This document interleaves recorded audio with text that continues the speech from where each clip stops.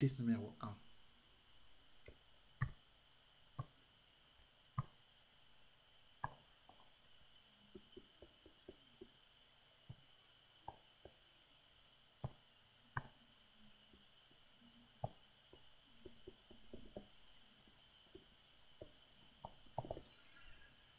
On considère les nombres grand A égale 6 septièmes moins 4 septièmes fois 5 demi. Je vais essayer d'aller vite. La multiplication est prioritaire, donc bien entendu, euh, le calcul qui est prioritaire, c'est le produit. Hein. Produit que nous avons ici, il est prioritaire, donc on doit d'abord faire 4 fois 5, hein, puisque pour multiplier deux fractions, on multiplie entre les numérateurs et entre les dénominateurs. Donc ensuite, n'oublions pas de simplifier avant d'effectuer. 4 c'est 2 fois 2 fois 5 et 7 fois 2. On simplifie donc avant d'effectuer. On obtient grand A égale 6 septièmes moins 2 fois 5, 10 septièmes. Et ça tombe très bien parce que en ayant simplifié, on a deux fractions qui sont au même dénominateur, qui ont le même dénominateur. Et pour soustraire deux fractions, on soustrait, pour soustraire deux fractions qui ont le même dénominateur, on soustrait les numérateurs et on garde le dénominateur commun, résultat moins 4 septièmes. Alors suivez bien parce que si jamais je, si jamais il y avait une erreur, il faudrait euh, pouvoir euh, la détecter. Hein. Alors 3 quarts moins 4, le tout divisé par 3 quarts plus 1 tiers.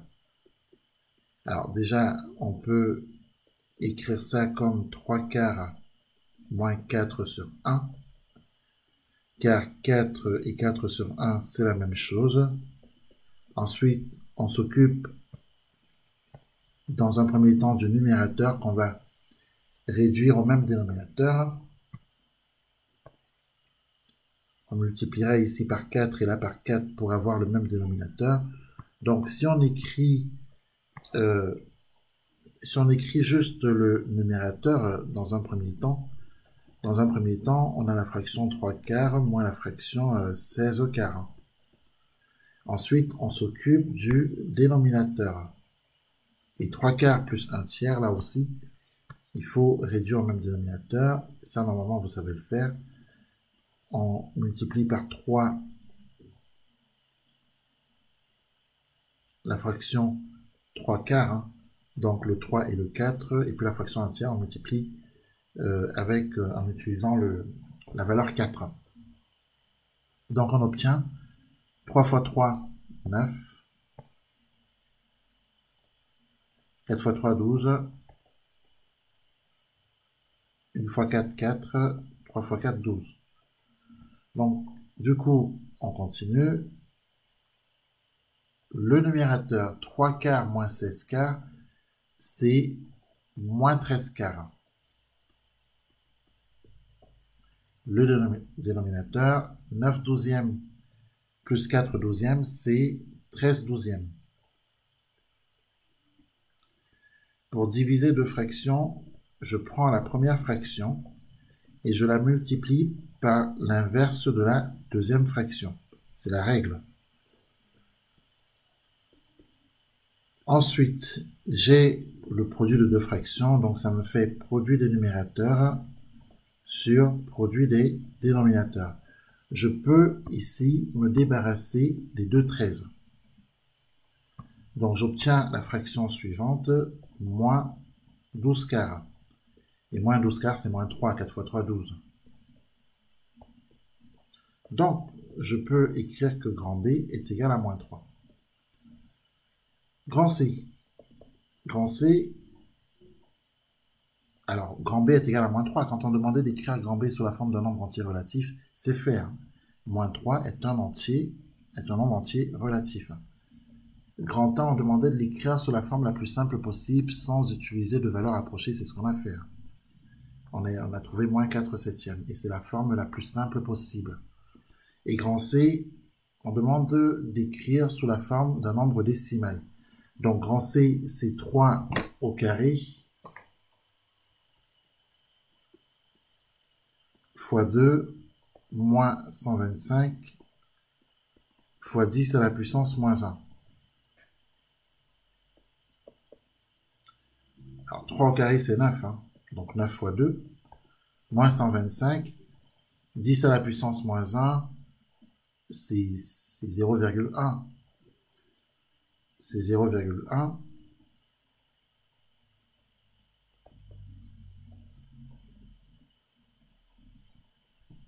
Donc, grand C égale 9 fois 2, 18.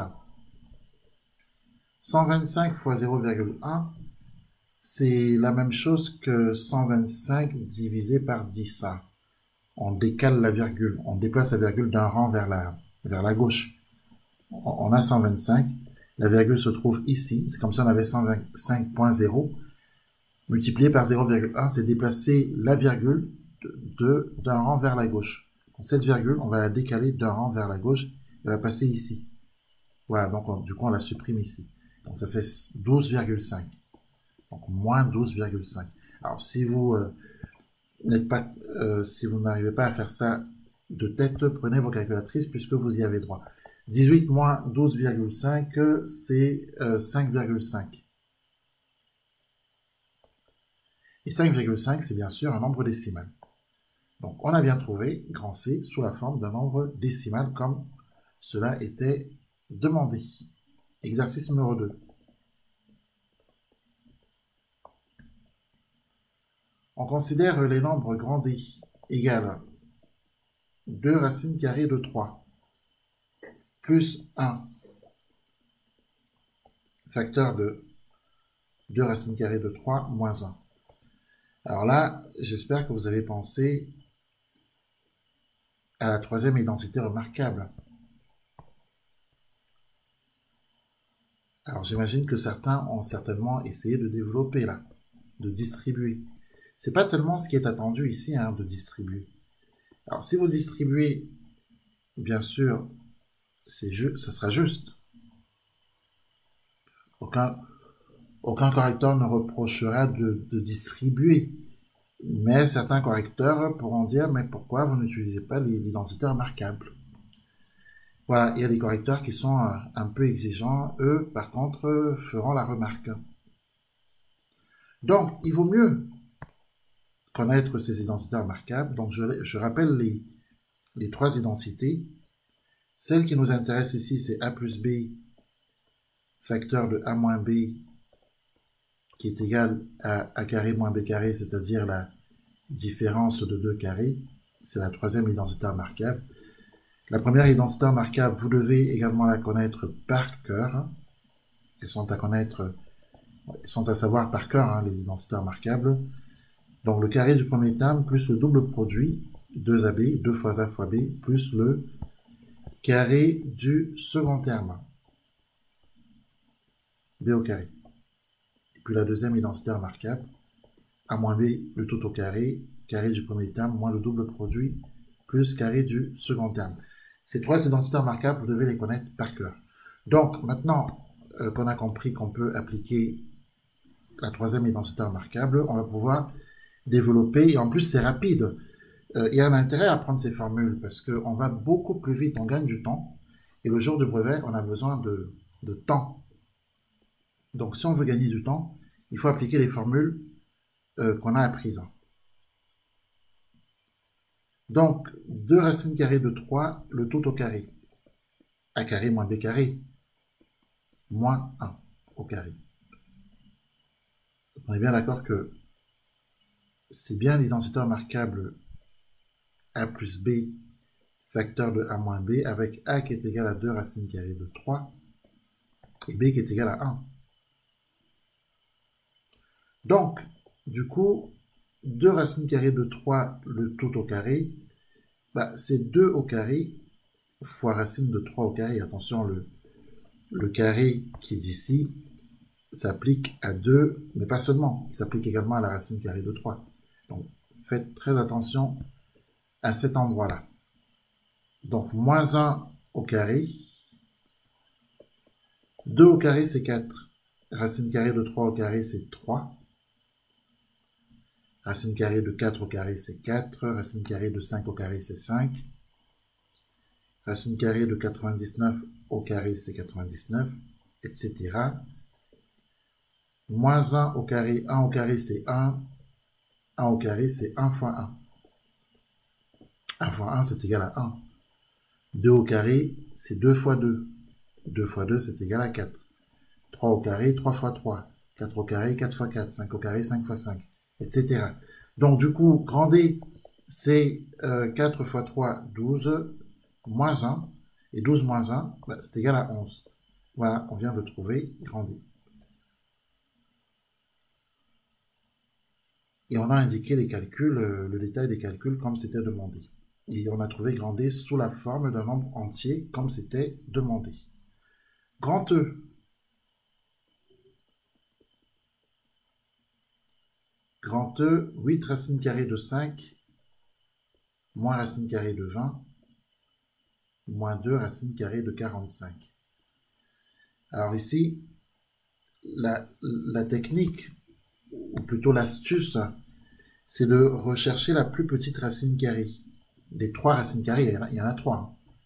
On a racine carrée de 20, racine carrée de 45 et racine carrée de 5. On recherche la plus petite racine carrée, c'est racine carrée de 5. C'est la technique. On regarde le nombre qu'on a euh, sous le radical. Le radical, c'est ça. En dessous du radical, c'est ce qu'on a ici. Sous le radical, on a 5. Eh bien, c'est ça qui va nous aider à simplifier notre racine carrée. Ce 5 que nous avons entouré, eh bien, on va chercher à le faire apparaître dans le radical de toutes les racines carrées de la façon suivante. Donc on a 8 racines carrées de 5. Le 20, on va se débrouiller pour faire apparaître ce 5. 20, c'est 5 fois 4. Voilà, donc en écrivant 20 comme 4 fois 5, le 5 qui nous intéresse apparaît. Et pour le 45, on va faire la même chose. 45, c'est 5 fois 9 euh, fois 5.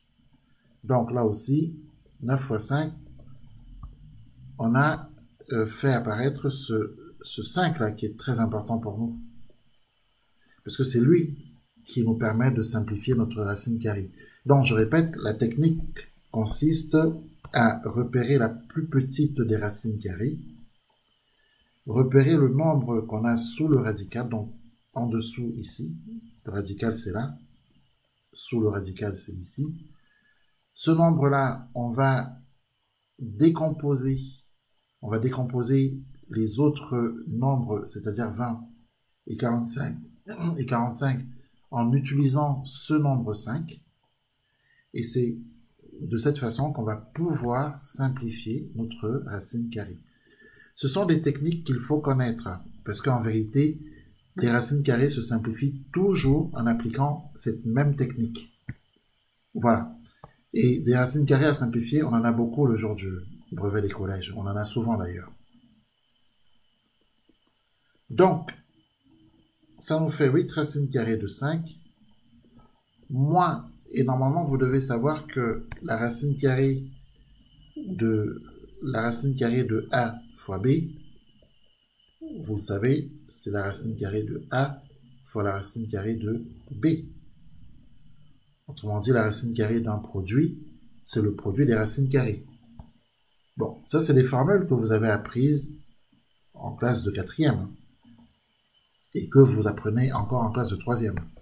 Donc, du coup, euh, racine carrée de 4 fois 5, on peut l'écrire comme racine carrée de 4 fois racine carrée de 5. Moins 2 fois racine carrée de 9 fois 5, on peut l'écrire comme racine carrée de 9 fois racine carrée de 5. Là aussi.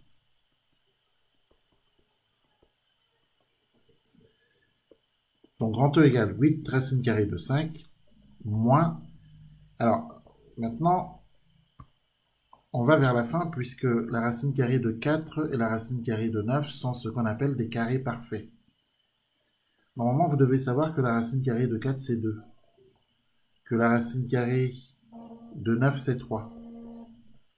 Que la racine carrée de, la racine carrée de 9, c'est 3, car 3 fois 3, c'est 9. La racine carrée de 4, c'est 2, car 2 fois 2 est égal à 4, etc. La racine carrée de, de 16, c'est 4, car 4 fois 4, 16. Eh bien, ça, c'est ce qu'on appelle les racines carrées euh, parfaites. Et on peut continuer comme ça, racine carrée de 25 égale 5, car 5 fois 5, 25. Donc, on sait que la racine carrée de 4, c'est 3. Donc, on va remplacer racine carrée de 4 par 3 fois racine carrée de 5. Moins 2 fois la racine carrée de 9. La racine carrée de 9, c'est également un carré parfait, puisqu'on sait qu'elle est égale à 3 fois racine carrée de 5. Et vous voyez bien que la racine carrée de 5, qui nous avait permis au départ de décomposer, enfin du moins le 5, sous le radical, qui nous avait permis d'introduire des 5 partout là. On avait décomposé 5 en écrivant que 5, c'est le produit 4 fois 5, 45, 9 fois 5. Et on voyait bien que à la fin, cette racine carrée de 5, elle apparaît du coup partout. C'est pour ça que la technique consiste à aller chercher la racine la plus petite, de regarder le nombre qu'on a sous son radical. Et ce nombre-là, on va l'utiliser dans les autres racines carrées dans les autres nombres sous les radicaux des autres racines carrées. Donc, on va utiliser ce 5 dans 20 en appliquant que 20 c'est 4 fois 5. On va utiliser ce 5 dans 45 en appliquant que 45 c'est 9 fois 5. vous voyez qu'il y a toute une astuce qui va nous permettre de simplifier notre, de simplifier notre expression. Donc, du coup, du coup, on a presque fini notre simplification puisque on a 8 racines carrées de 5, moins 3 racines carrées de 5, moins 2 fois 3, c'est 6. Hein. moins 6 racines carrées de 5. Et puis, pour finir, 8 moins 3, 8 moins 3, ça fait 5. 5 moins 6, moins 1. Donc, moins 1 racine carrée de 5. C'est comme si on avait c'est comme si on avait 8x, euh, moins 3x, moins 6x. Sauf que le résultat, ce sont des termes en x, mais là, ce sont des racines carrées de 5. On a 8 racines carrées de 5. On a des racines carrées de 5 qui sont en nombre de 8. On a des racines carrées de 5 en nombre moins 3. Autrement dit, 8 moins 3. Puis on enlève encore 6 racines carrées de 5. Finalement, ça nous fait moins 1 racine carrée de 5. Et si vous voulez bien terminé, vous écrivez moins racine carrée de 5. Car moins 1 racine carrée de 5, c'est la même chose que moins racine carrée de 5. Et là, on a simplifié. Dans le jour du brevet, quand on a des racines carrées à simplifier, il faut connaître la technique de simplification. Et cette technique, on l'applique à toutes les racines carrées qu'on veut simplifier du moins à toutes les expressions qui contiennent les racines carrées qu'on veut simplifier, et ça fonctionne. Donc, exercice suivant. Exercice suivant.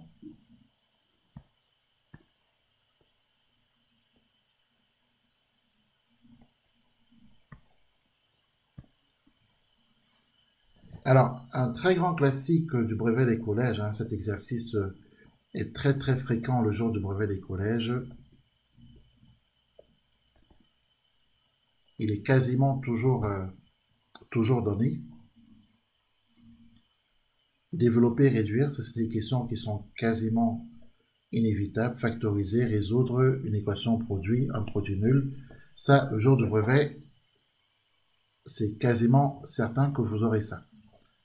Et en général, c'est noté sur autant de points que vous voyez affichés. Alors, soit l'expression grand F Et grand F est égal à 2x moins 5, le tout au carré, moins x facteur de 2x moins 5. Cette partie, c'est ce qu'on appelle le calcul littéral. Euh, première question. Développer et réduire. Développer, c'est supprimer les parenthèses. Développer, c'est distribuer. Distribuer ici, là. Développer, c'est quand on a cette identité remarquable, c'est appliquer la formule de cette identité remarquable. Et la formule de cette identité remarquable, c'est celle qu'on a donnée tout à l'heure. C'est a moins b le tout au carré qui est égal à a au carré moins 2 fois a fois b plus b au carré. Développer ici, c'est connaître ces formules. C'est savoir distribuer. C'est savoir regrouper les termes identiques, comme par exemple des termes en x ou des termes en x euh, au carré comme des valeurs numériques.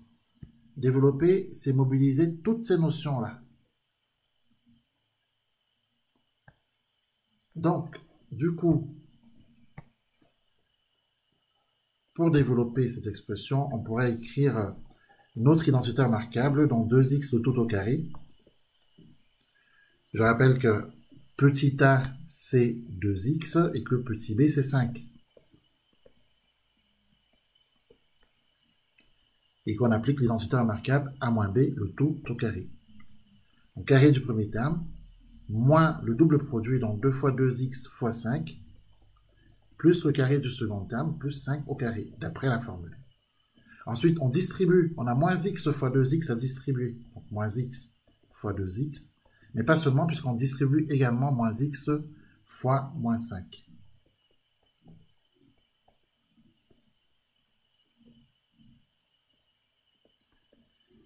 2x le tout au carré.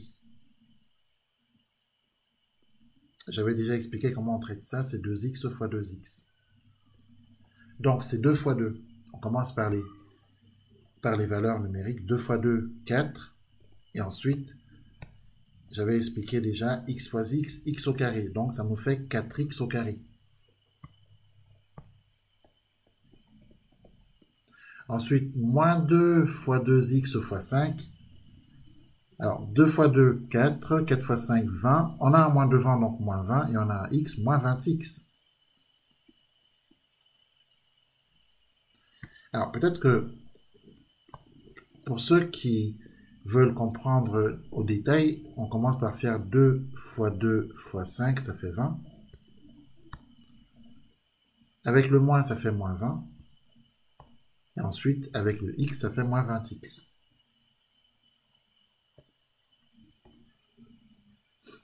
Plus 5 au carré, ici. 5 au carré, c'est 5 fois 5, c'est 25. Moins x fois 2x. Là aussi, il faut faire attention. Moins x fois 2x. On peut faire bout à bout. On a le 2 déjà. Ensuite, on a le moins. Donc, du coup, moins 2. Et après, on peut faire x fois x, et là, ça nous fait x au carré. Vous voyez, il faut vraiment aller bout à bout. Hein, les signes, les valeurs, les x. Les x entre eux, les valeurs entre elles, les signes entre eux. Et donc, du coup, moins 2x au carré. C'est très très facile hein, de se tromper sur ce genre de calcul si on, ne va pas bout à bout. Et moins x fois moins 5, c'est pareil, il faut, faire attention. Moins x fois moins 5, on commence par faire les signes en premier. Donc moins fois moins, donc c'est un plus, hein, produit de, le produit de deux, nombres réels négatifs est un nombre réel positif. Hein. Ensuite, on a le 5 qu'on met ici derrière le plus. Et puis le, le x, hein, donc, du coup, plus 5x.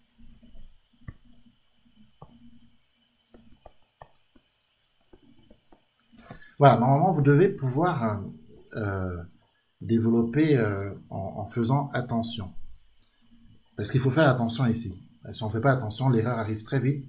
Erreur de signe, erreur dans, le, dans, le, dans, les produits, hein, quand on applique par exemple 5 fois 2 fois 2, l'erreur arrive très très vite. Donc, il faut vraiment être vigilant, faire attention, faire bout à bout surtout.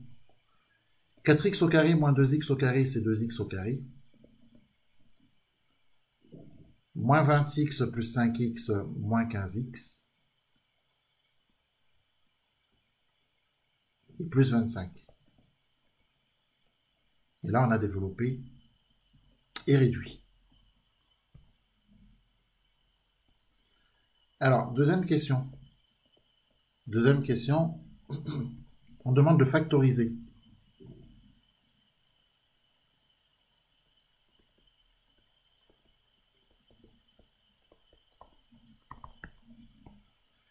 Alors, factoriser grand F qui est égal à 2x moins 5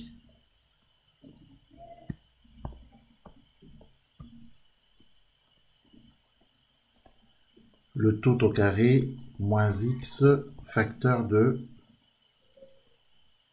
2x moins 5. Ici, pour factoriser, il faut d'abord penser à écrire 2x moins 5 le tout au carré comme le produit de 2x moins 5 par lui-même. Voilà, il faut commencer par ça déjà. Ensuite, moins x facteur de 2x moins 5. Ensuite, on repère le facteur commun. Le facteur commun, c'est 2x moins 5 qu'on repère. À la ligne suivante, on l'écrit plus qu'une seule fois. C'est lui, 2x moins 1, qui est mis en facteur.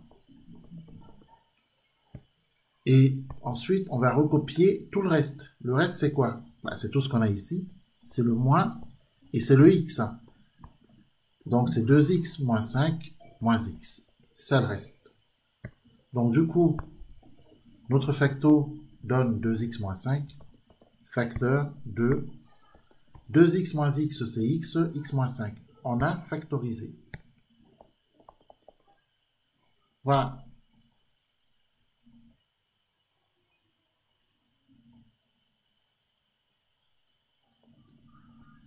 Ensuite, troisième, euh, troisième question, on demande de résoudre l'équation 2x moins 5 facteur de x moins 5 égale 0. Vous remarquerez que 2x moins 5 facteur de x moins 5, c'est ce qu'on a trouvé précédemment. Alors, ils font, souvent ça. Hein, C'est-à-dire que souvent, ils vous donnent des expressions qui s'apparentent à ce qu'on a trouvé précédemment. Et donc, si vous regardez un tout petit peu, si vous êtes un peu attentif, vous pouvez savoir si vous avez juste ou faux. Alors, résoudre l'équation 2x moins 5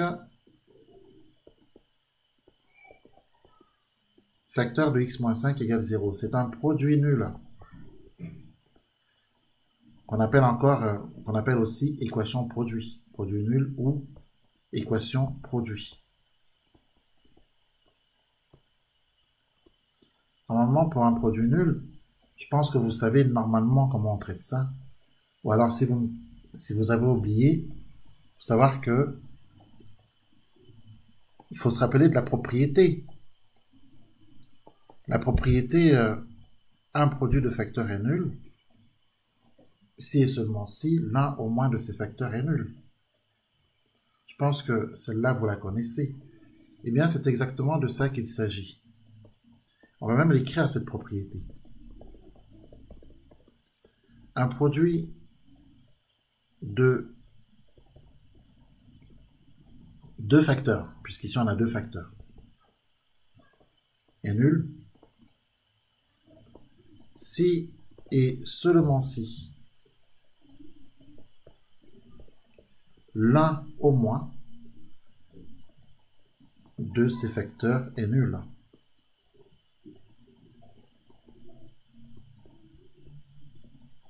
En clair, ça veut dire que si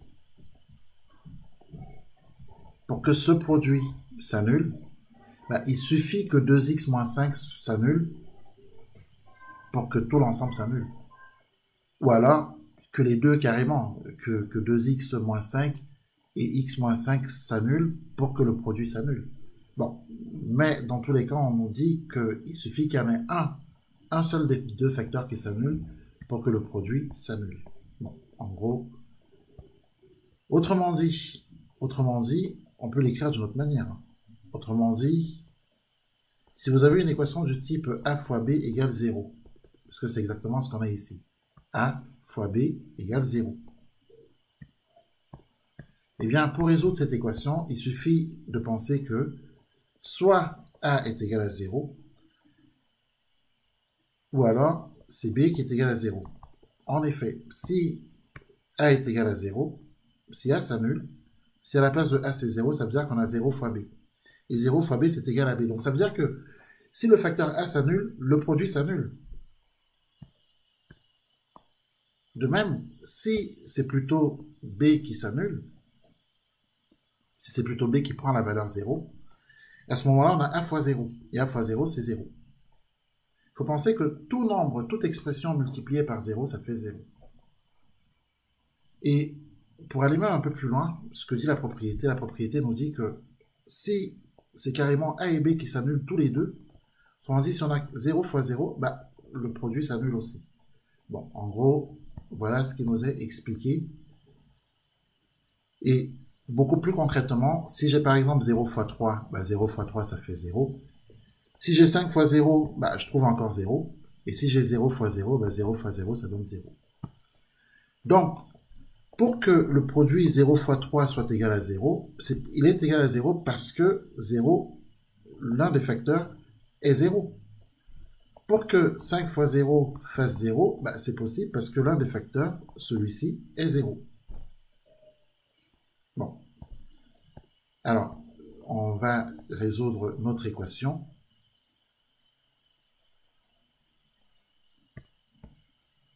Donc, du coup, on doit poser que 2x moins 5 égale 0 ou x moins 5 égale 0.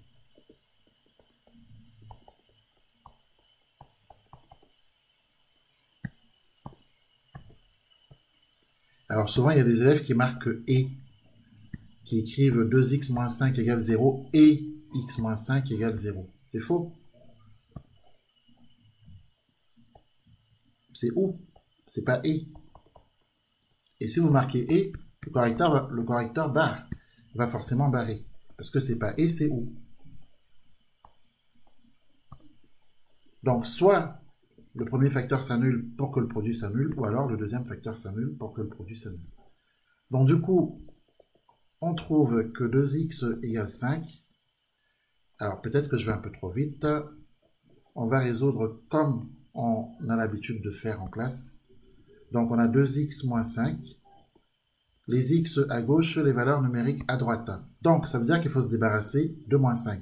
Et pour se débarrasser de moins 5, on va faire plus 5 dans le membre de gauche et donc, ce qu'on applique dans le membre de gauche, on l'applique également dans le membre de droite. Et donc, du coup, quand on fait le bilan, on trouve que 2x est égal à 5. C'est comme ça qu'on traite ça en classe quand on, quand on apprend à résoudre des équations. Après, quand on devient euh, un peu plus expert, on va beaucoup plus vite. Bon.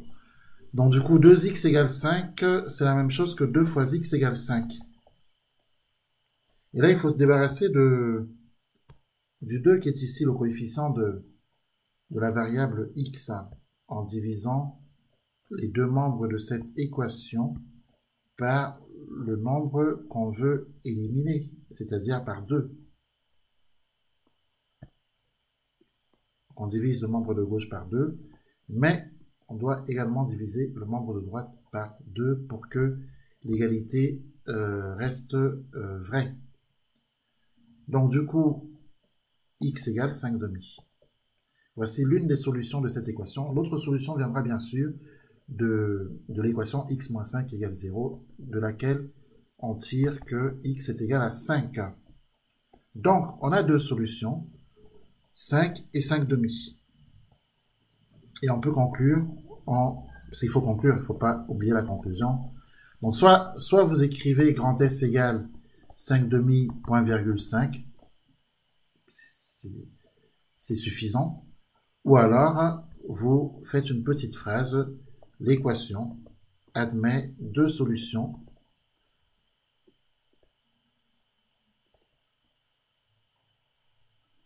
Ou alors l'équation admet pour solution les nombres 5 demi et 5. Voilà. On peut conclure de, l'une ou l'autre des manières. Voilà pour cette euh, partie numérique hein, du brevet des collèges. Donc, partie très importante que vous aurez forcément, de toute façon, puisque vous avez, vous avez forcément la partie numérique le jour de l'examen, mais vous avez aussi les activités géométriques. Est-ce que vous avez quasiment tout réussi? Non Est-ce que vous avez tout compris?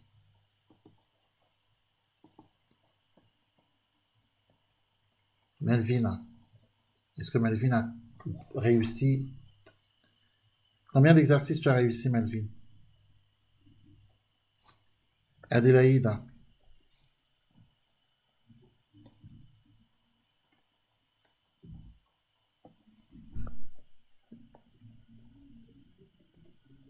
Allô? Vous n'entendiez pas? Allô? Je vous entends. Vous entendiez tout à l'heure ou pas? D'accord. Autant pour moi. C'est parce que j'avais coupé une partie du, du son, mais c'était plutôt le retour que j'avais coupé. Donc du coup, est-ce que vous avez bien réussi euh, les trois exercices hein? Seulement les deux premiers. D'accord, donc il va falloir euh, retravailler ça. Attention, c'est exactement ces, ces exercices-là qu'on donne le jour du, brevet des collèges. hein. Après, il n'y a pas que ça, mais c'est voilà, c'est- souvent ceux-là qui viennent. Calcul littéral, les opérations sur les fractions, les multiplications, etc., les racines carrées. Voilà des choses qui sont très très fréquentes au jour du brevet des collèges. Voilà, bon ben je vous laisse. hein. Bonne soirée à vous tous. D'accord, bonne soirée. Au revoir. Au revoir.